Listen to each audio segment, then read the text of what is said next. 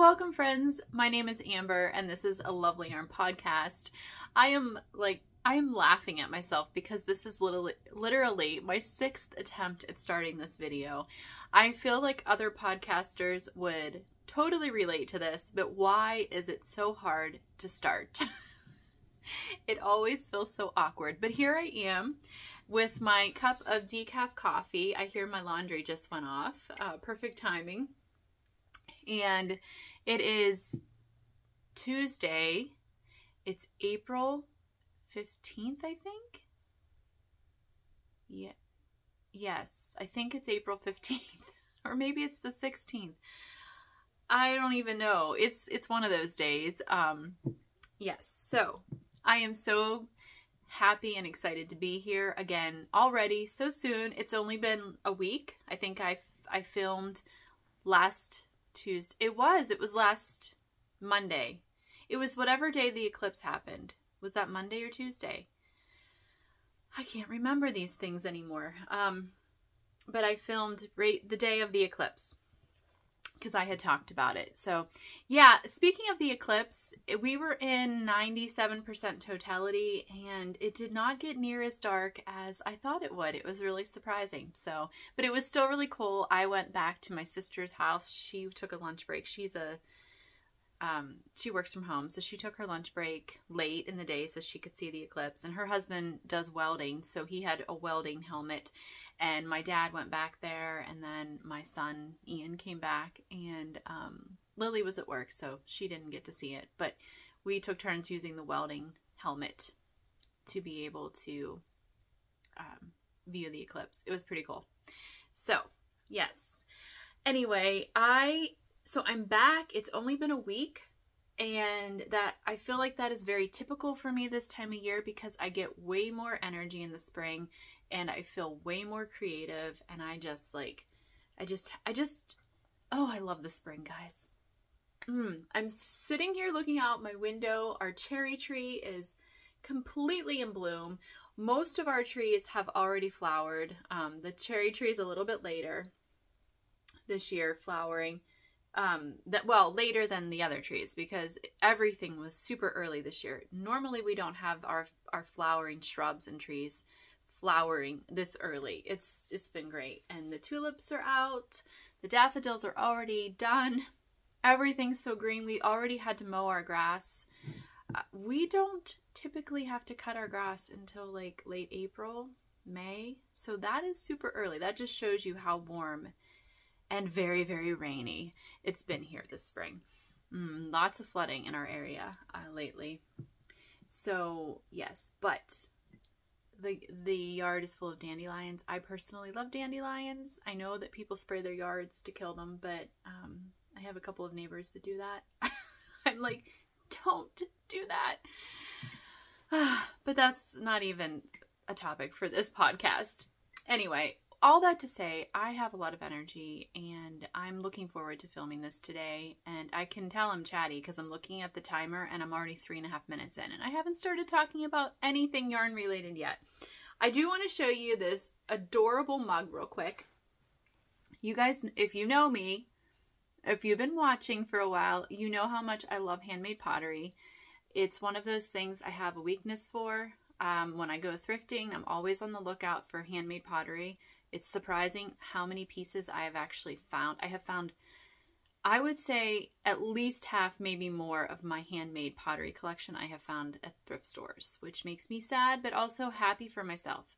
Sad for the potter that spent the time doing it, happy that I get to enjoy it now. Um, but anyway, this mug was a gift from my daughter. She bought this for me last week. It is so cute. Those are little root vegetables. This is like a garden mug.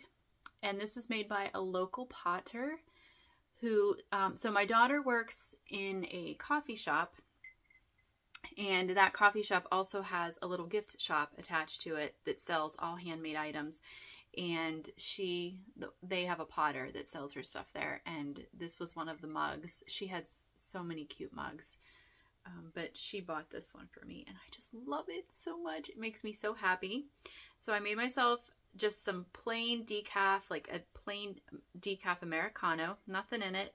It's my second coffee. I actually gave up caffeine. Um, I have, I'm very sensitive to caffeine. Um, it, so I don't really drink uh, caffeine anymore, but I do love coffee. I just love the taste of coffee. It's very comforting to me. So I do still enjoy decaf coffee. So I brought that and I have a bunch of WIPs around me. This is the episode of WIPs because I have no finished objects for you guys, but I have a lot of WIPs. So we're going to talk about WIPs. I guess I, I should mention first what I'm wearing. I, often, I sometimes forget to do that. This is one of many of my ranunculi that I have knit, patterned by uh, uh, Knit Cafe Mod Modori? Midori? Yeah, I can't believe I'm forgetting the name of the designer. Uh, but I've talked about this pattern so much. This, I made, I think I have two summer ranunculi. And this one is made with Drops Belle in the petrol colorway.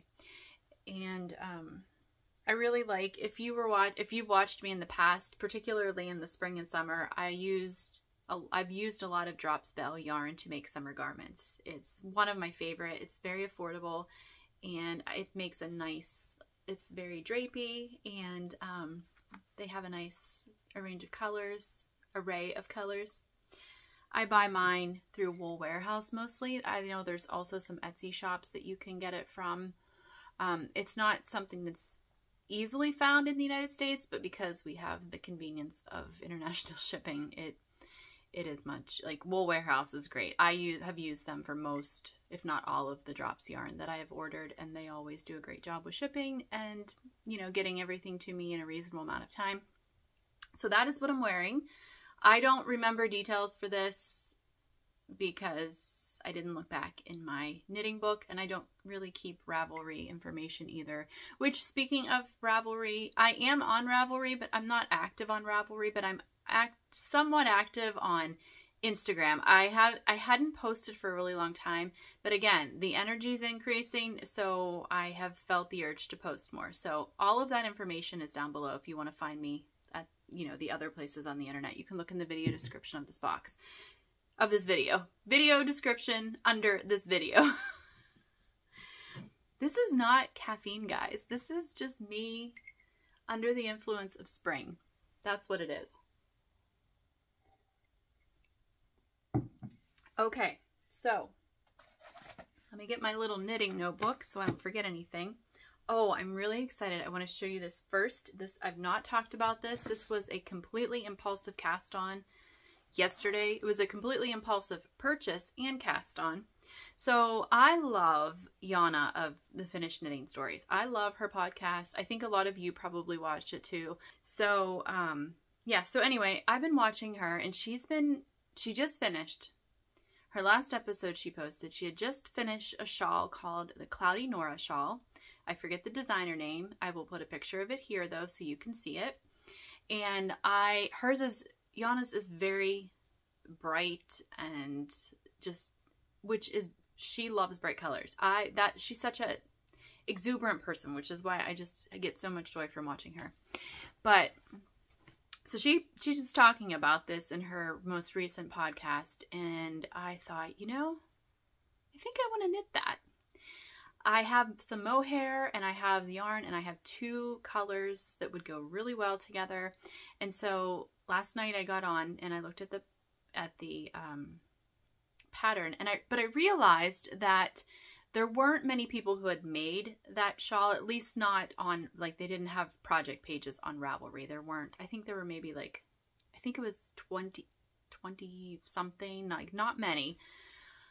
But I didn't realize this, but the pattern is designed to use boucle yarn and then mohair. So one skein of boucle and one skein of mohair.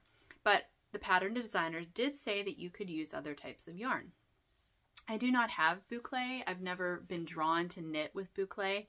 So, although I think it looks gorgeous in this shawl in particular, but I don't own it. And I, I'm really trying to work for my stash with my projects that I pick. So I, I thought, oh, well, I could probably still do it, but I just, the Cloudy Nora literally has like little, the boucle portion of the shawl is supposed to look like little clouds and they're really cute and puffy And I just thought, I'm not going to get the same effect just using one strand of fingering weight yarn. So I thought, okay, I'm going to think about this before I buy this pattern. And I'm going to see if I can find a different one. So I did a search on Ravelry using like the filter and um, I got 19 pages of results. Some of them were kind of what I was thinking of. Other ones were not at all. But I ended up finding this shawl called Puff. Puff is by Lisa Mooch or Mutch. I'm not sure how to pronounce that. And um, I'll put a picture up.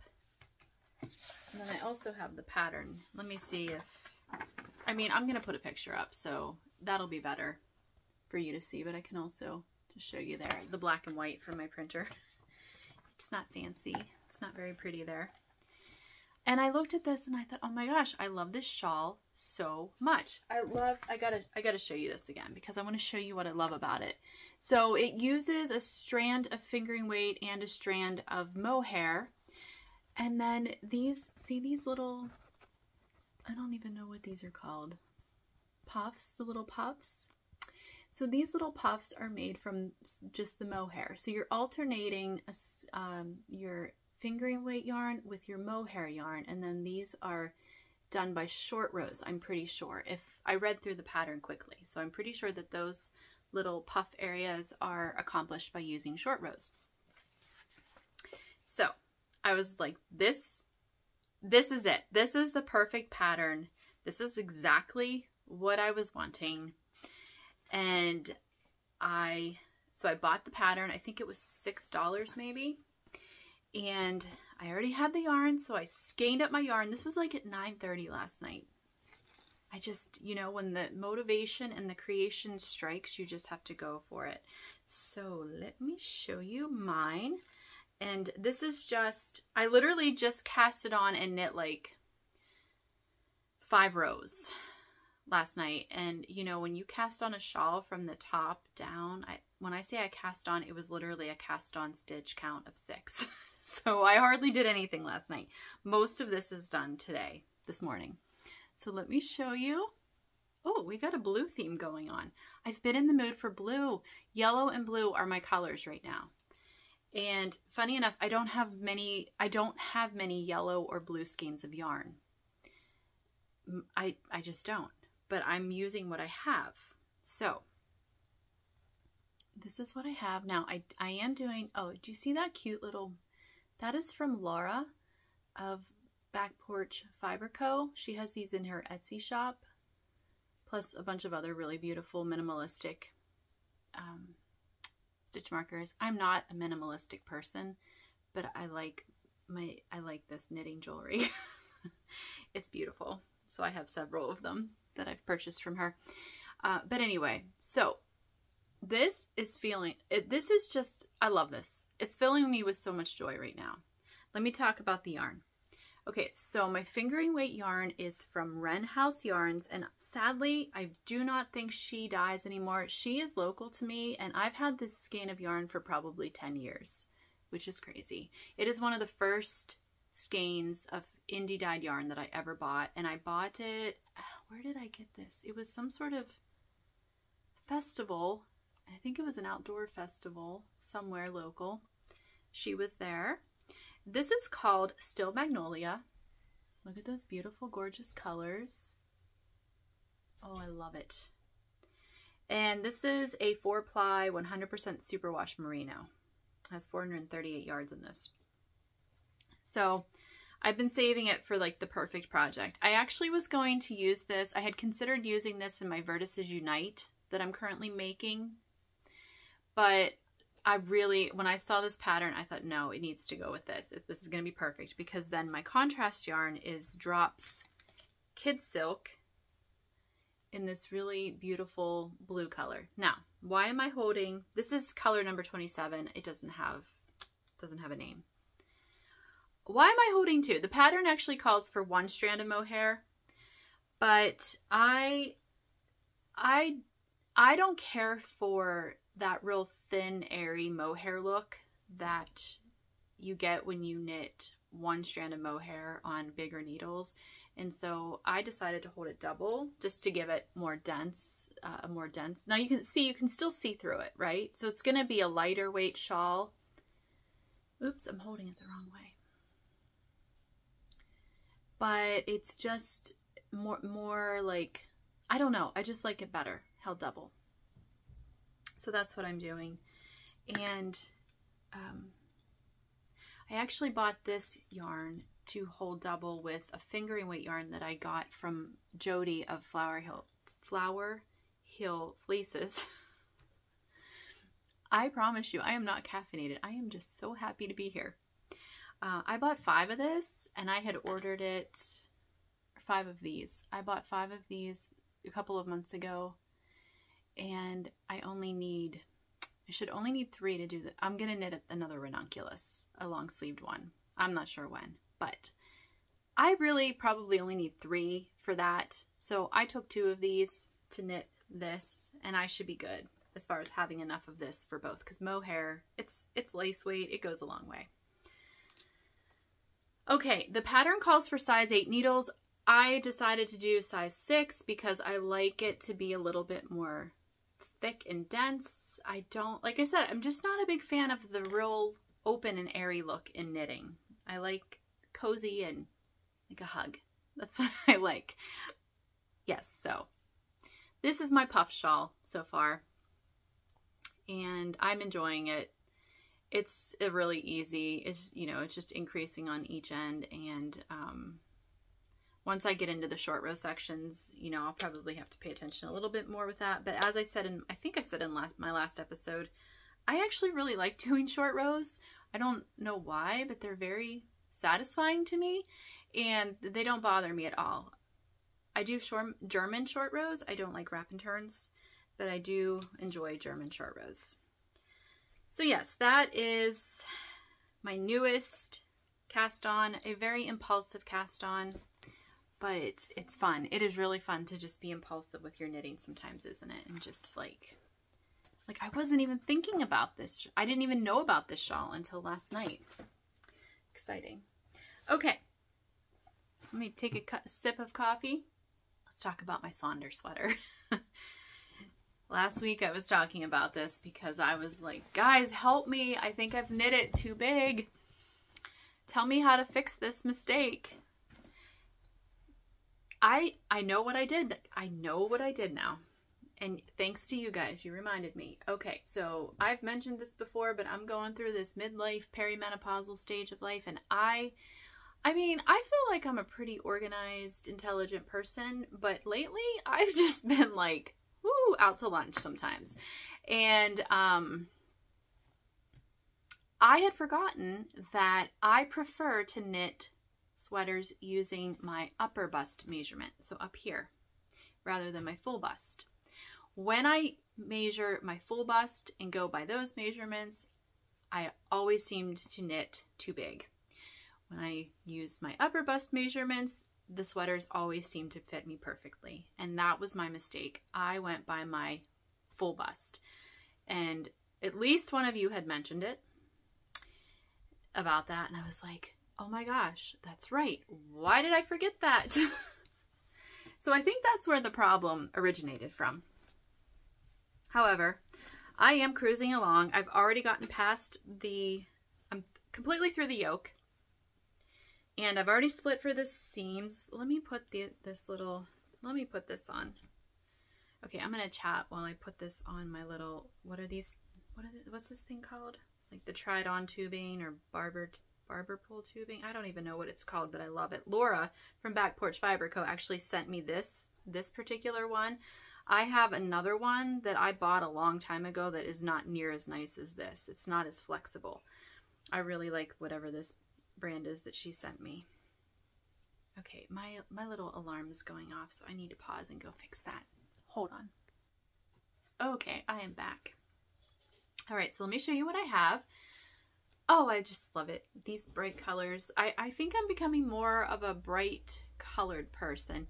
So historically in the past, I always craved bright colors in the winter months and then neutrals in the spring and summer. And I always said it was because it was so dreary here in the winter. So that's why I wanted the bright colors.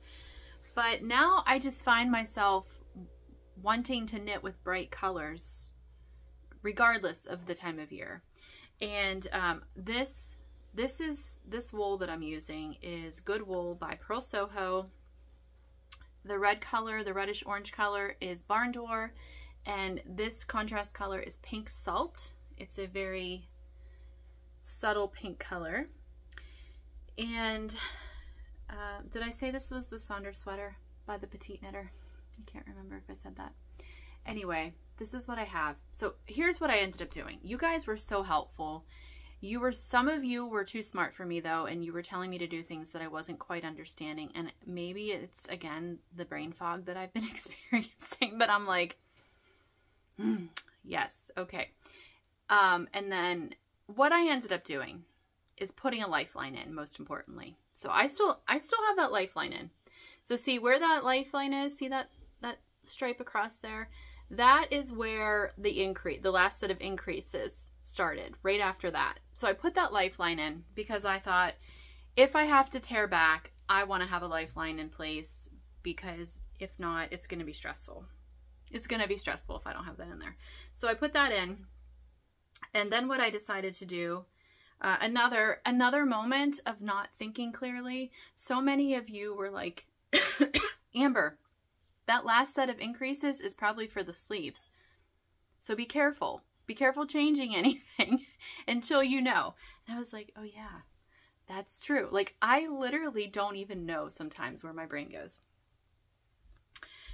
So I thought, yes, that is true. So what I was going to do is go down a needle size to do the body. And I did that and I didn't like it. So, cause it looked too pulled in or something. It just didn't look right down here. So I ended up going back up to the, the regular needle size that I was using, that the pattern calls for, and I did everything according to the size 4. I should have knit, so I should have knit the size 3, but I knit the size 4 instead. So pretty much what's going to happen is I think this might be a little bit looser than what I like, but I don't think it's going to be as bad as I originally thought. Um, under the sleeves, I picked up the amount that was needed. And then as I was knitting down, I thought I'm going to decrease by two. And I might end up decreasing another two stitches on each side. So I'm going to just keep going and see what I think. But I also took this and I laid it down on top of another hand knit sweater, uh, yokes, colorwork yoke sweater that I have. Actually, I did this with two different sweaters that I have and it looks like it's not going to be as large as I originally thought. Like it looks like it's going to be pretty close to these other two sweaters that I really feel comfortable wearing. So I'm hoping for that. Um, yeah.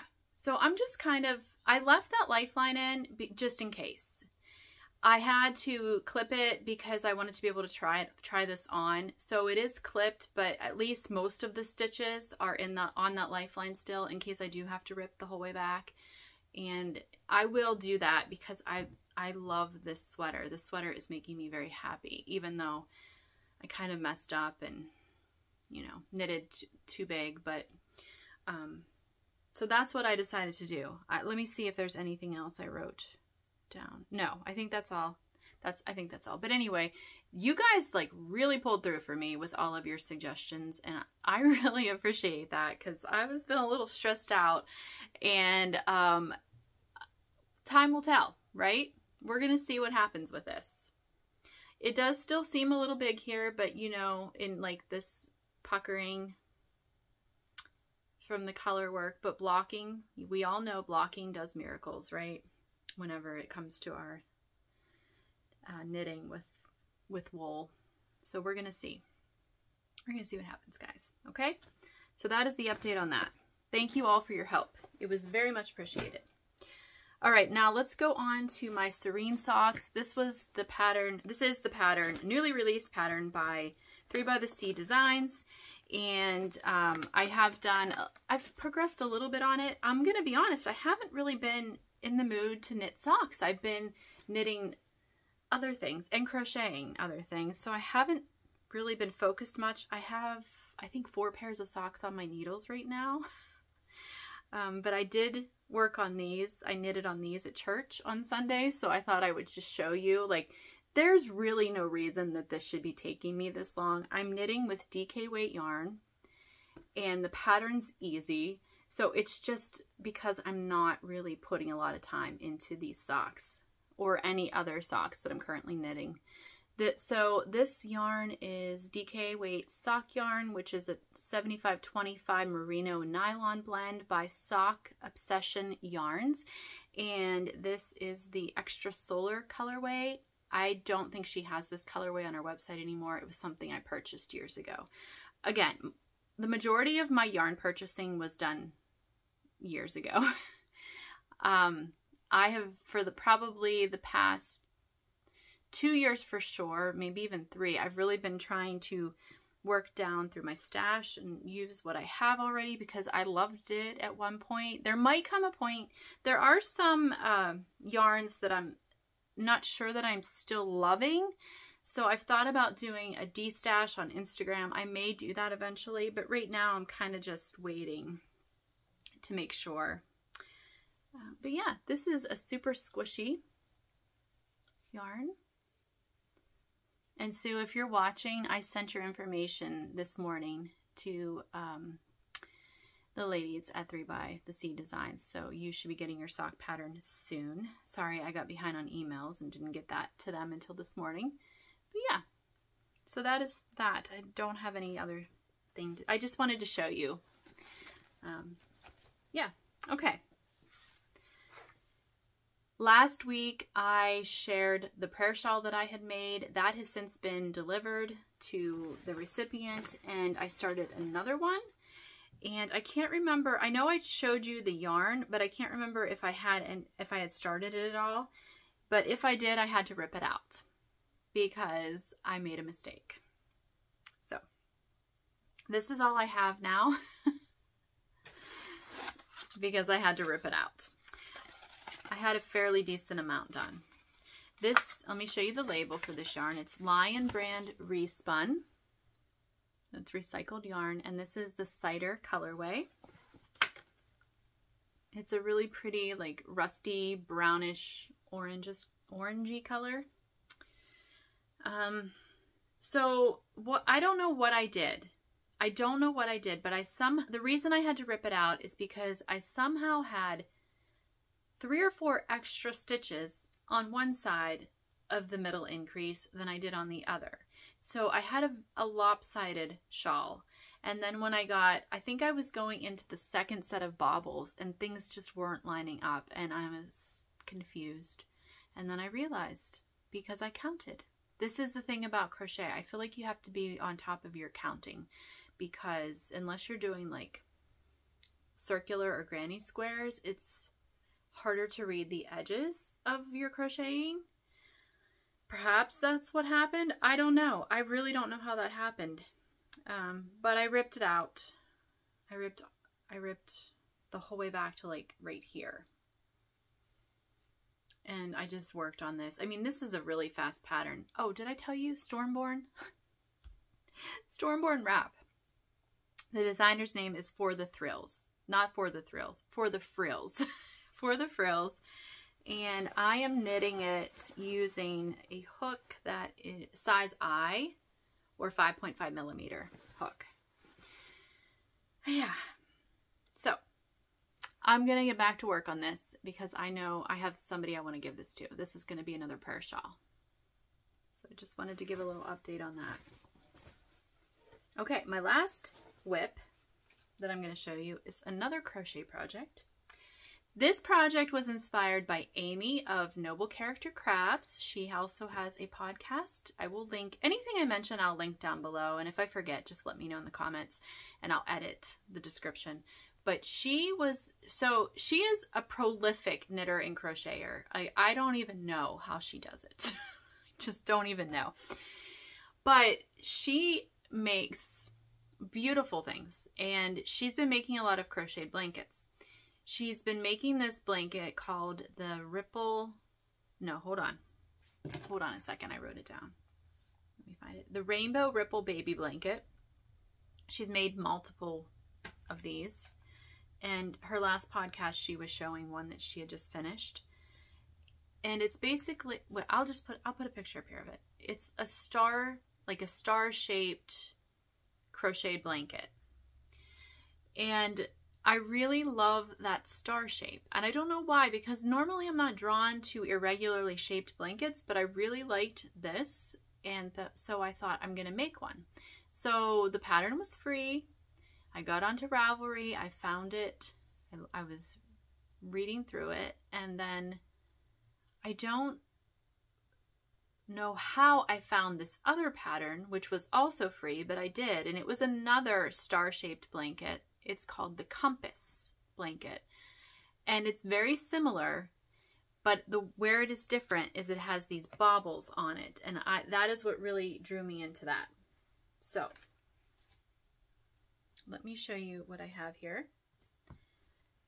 I don't have a lot, but I have some this color. This color is coming up in my podcast so much this week.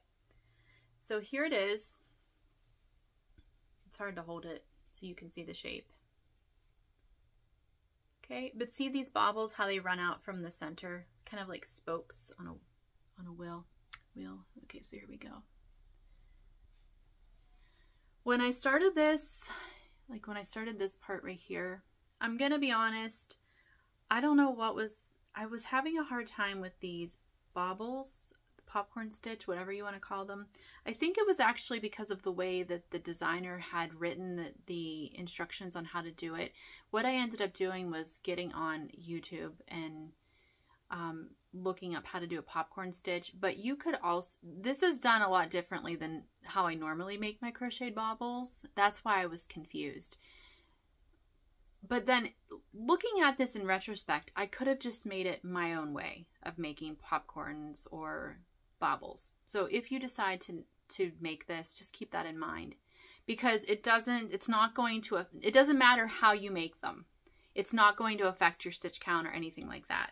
So I probably if I would make this again, which I feel like I, I will make this again because it's a really fun pattern, I will just make the baubles using my regular way of making it. Just know, if you knit this, you can just make the baubles however your heart desires to make it. It will be perfectly fine. It's not going to mess up your stitch count. Um, just make sure you put your chain two in between. So yeah, this is fun. This is a really fun pattern. I'm really enjoying crocheting right now because it's so fast. It's so much faster than knitting. I am using Lion Brand Mandala and I had three skeins of this yarn. This one, oops, this is my first one. I had three skeins of this yarn, so I think what I'm probably going to do is just keep crocheting until I use up all three skeins.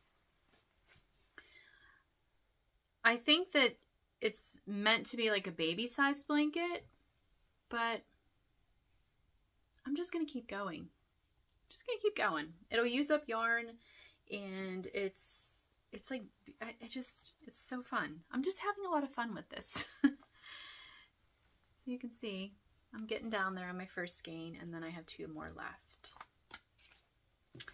Yeah, so having a lot of fun. I'm using an H hook, which is also a five millimeter hook, in case you are wondering. I'm, I don't know that that's the hook that the pattern calls for, but that's the one that works best with the yarn that I'm using. Okay, so those are all of my WIPs, at least my active WIPs that I want to talk about. I actually have quite a few other things, but I haven't touched them for a while. Um, so I want to take a moment to announce the giveaway winner for the skein or the sock set. Where did I put that? Yeah, here we go. From Sweet Mountain Crafts, the paddleboard DK weight sock set that um, last episode I just asked you to leave a comment saying you were interested in letting me know where you were uh, viewing from. So I used random comment gen gen generator. Thank you guys for bearing with me. And here we go. So Elsie Hughes 7130, you are the winner of this sock set. So if you could please email me. My email is down below in the video description. I will get this mailed out to you. I'm going to just need your like your name and your mailing address and I will get it sent out to you. So thank you guys for all of your support and for watching and for commenting and um, congratulations Elsie on winning this. So just a few other things and then I'm going to go ahead and wrap this episode up.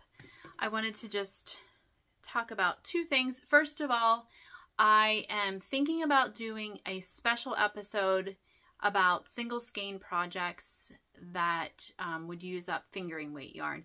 So in the past, I've done some, I've done like a scrappy episode, I've done a road trip episode, I've done shawl, simple shawls. I can't even remember all of the special episodes that I've done, but I have a lot of skeins of fingering weight yarn that I could use them for socks, but some of them I'm like, they're so beautiful. I don't know if I want to wear those on my feet. I kind of like commercial sock yarn better. It's it's very durable and then I it's cheaper so if I get a hole in it it's not as heartbreaking as when I get a $30 skein of you know indie dyed yarn gets a hole in the socks then that's a little bit more um, traumatic. But I was thinking about doing an episode and doing some research on Ravelry on projects that just use a single skein or a some amount of a single skein of fingering weight yarn. So let me know if you guys think that sounds something you'd be interested in. Um, I might, I just, I don't know. I feel like that would be good to have like a bundle like that on Ravelry where I could just go when I was wanting to use just one skein of my fingering weight yarn. So I was thinking about doing that. Also, I'm going to be doing some traveling here over the next couple of months. And one in particular is going to require flying, which I have not flown in 14 years since we went and adopted Sergey from Ukraine. So it's been a long time. And um and I wasn't even a knitter back then. Or I was just a beginning knitter. I don't even think I was I think I was just crocheting at that point, but I wasn't even into it so much that I would take it on the plane. I think I just read on the plane I don't know what I did on the plane, but I don't, I know I didn't take any crafty things because I was very limited in what I could pack because we were going to be there for at least five to six weeks and I needed to be, we were taking stuff over for the orphanage and one of our suitcases. So I had to be really careful about what I took. So I didn't take any crafty things to do. So do you guys have any tips? I am I've heard horror stories of having to throw out needles, and I just don't want that to happen. And I guess I should look on the whatever airline I'm going with. I guess I should probably contact them just to make sure. But I am absolutely clueless when it comes to traveling with my knitting, like air airline, airplane travel. So if you have any tips on that, let me know because like I said, I'm pretty clueless about that. Um, yeah, and I think that's it. I am looking forward to those trips. Uh, we're going to do a family trip to our friends in Charleston area of South Carolina. We do that annually in the spring. We're going to be doing that.